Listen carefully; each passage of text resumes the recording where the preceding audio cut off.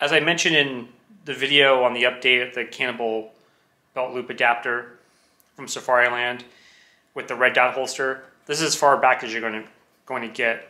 It's almost a neutral position, but you can go have it get forward all the way if you want, but this is as far as you're going to get.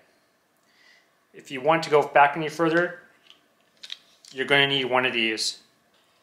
Get it set up like this. So then you get a forward cant